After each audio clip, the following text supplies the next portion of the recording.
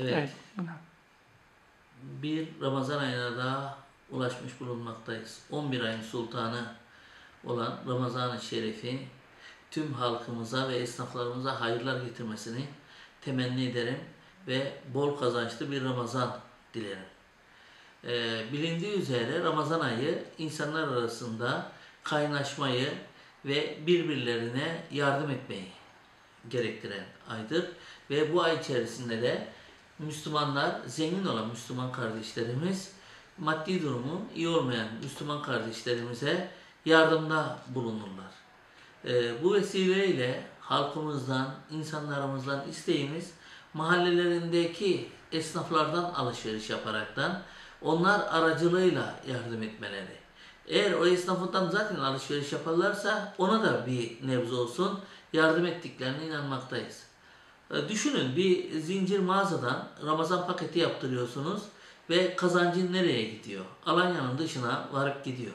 Ama siz yardım paketlerinizi mahallenizdeki bakkallardan yaparsanız e, hem onlara marketçiye, bakkalcıya yardımcı olmuş olacaksınız hem de marketçiden aldığınız o ürünlerle e, gariban, e, yardıma muhtaç olan insanlarımızın erzaklarını gidermiş olacaksınız.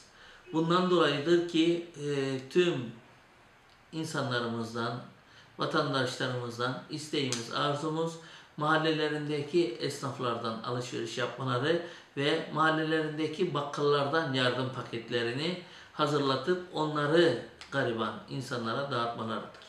Hiçbir şey e, daha kötü yapılmadan daha ucuza satılamaz.